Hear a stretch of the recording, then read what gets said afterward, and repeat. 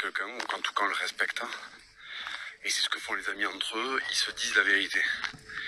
Et moi je crois que je crois que c'est important de se dire la vérité, même quand elle est désagréable à entendre, c'est comme ça qu'on avance, c'est comme ça qu'on reparamètre euh, les choses positives à faire ou, ou qu'on peut trouver des solutions. Si on ne met pas euh, le doigt sur le problème, si on ne mentionne pas euh, ce qui ne va pas, on s'expose à en fait on s'expose à prendre le mur.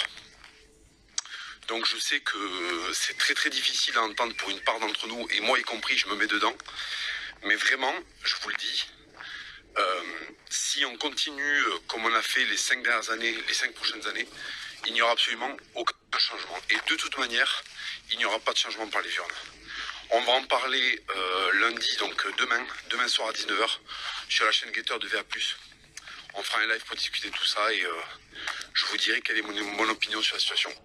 Vraiment, ne ratez pas ce live parce que euh, je pense que c'est, euh, on arrive, si vous voulez, à une espèce de, on arrive à, une espèce de dénouement euh, malgré tout parce que ces élections disent beaucoup, hein, contrairement à ce qu'on pense. ce n'est pas qu'une déception, une énième déception. Il y a, là, il y a, il y a beaucoup de choses qui sont passées en cinq ans et les Français n'ont pas réagi. Il n'y a pas eu de sursaut. Donc là, ça veut dire qu'il y a certaines choses à acter. Il y a certaines choses à comprendre, voilà. Très important euh, de pas se mentir et de bien intégrer qu'est-ce qui a changé et qu'est-ce qui va changer désormais à partir de cette élection.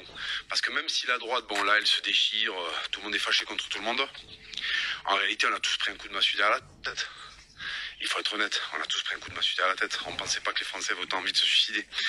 Donc si vous voulez, on va... Voilà, c'est important que vous ratiez pas ce live parce que je vais discuter de tout ça et on va aller vraiment en profondeur.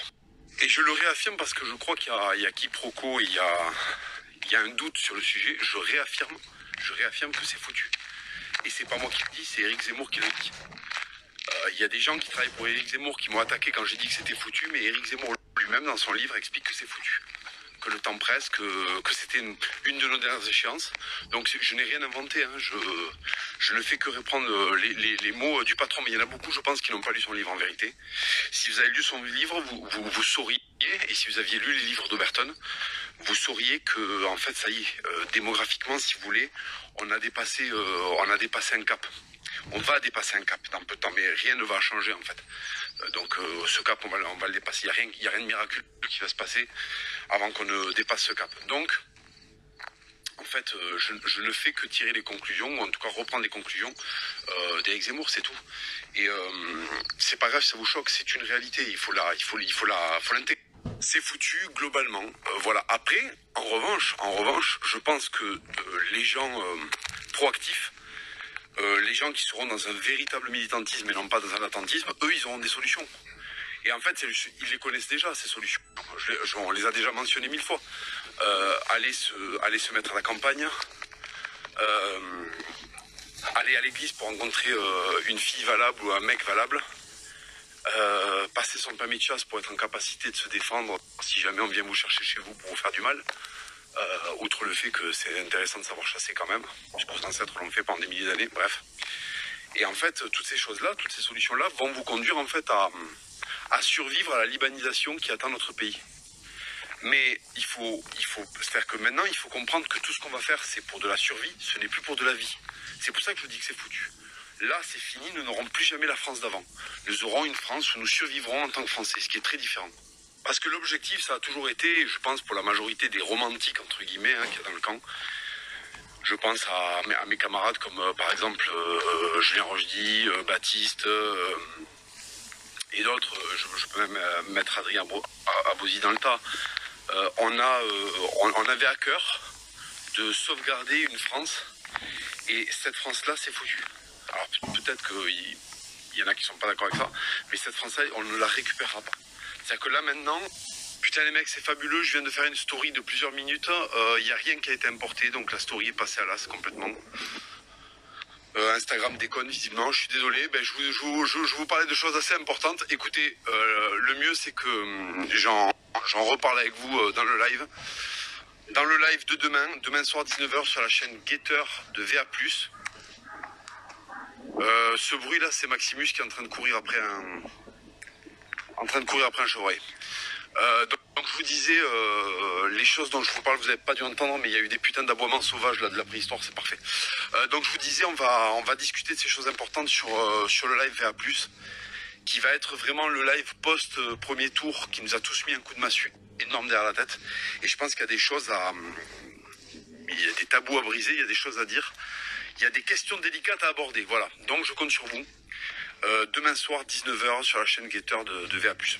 Parce qu'en fait, la conclusion de tout ça, c'est que il y a des mecs qui sont fait éborgner par, euh, par Emmanuel Macron, enfin par les forces de police, euh, via, sous les ordres d'Emmanuel Macron, qui ont fait appel à, à faire barrage là. Je pense à Jérôme Rodriguez. Donc Jérôme Rodriguez qui se fait éclater un œil par, euh, par Macron, en fait, en finale. Euh, il demande à faire barrage contre, contre l'extrême droite. Donc si vous voulez, je préfère regarder le cul de mon chien avec cet anus rose euh, complètement incroyable euh, sous sa queue là, vous voyez, attendez. Voilà, je préfère voir cet anus. je préfère voir l'anus de mon clébard quand il se promène que voir tous ces fils de pute faire barrage en fait. Il faut me comprendre. Il faut me comprendre.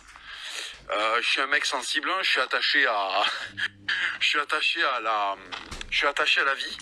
J'aime la beauté. Je supporte pas euh, je supporte pas les choses vilaines. Voilà. Je supporte pas l'imbécilité.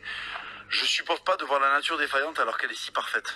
Eh mon petit chien et il y en a plein qui badent et qui me disent ouais papacito t'as pas l'air en forme, le live il va pas être rigolo mais les gars vous me connaissez, tout me fait rire, tout me désole mais du coup tout me fait rire parce qu'en fait une fois que ça m'a fini de me désoler ça me fait marrer. Donc euh, c'est tellement absurde tout ça finalement.